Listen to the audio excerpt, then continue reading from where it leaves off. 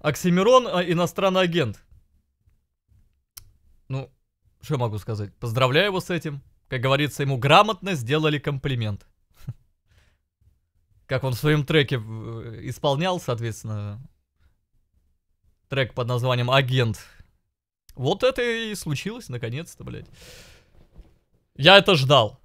Я, ну, наконец-то не в том плане, что я хейтер Оксимирона. Я считаю, что статус иностранного агента это, ну, типа, знак качества, знак здравомыслия, знак того, что человек, ну, адекватный. Нет. Вот, ну как нет? А я считаю, что да.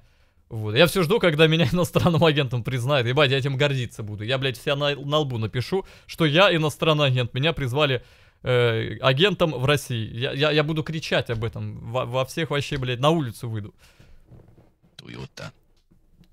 Поэтому, ну, призвали, признали. Э, признали Оксимирона, ну так я не знаю, почему его сейчас признали. Я думал, что он уже давно является агентом, а, а, а только сейчас почему-то признали. Вот это, кстати, я не знаю. Странно, а у них это все работает.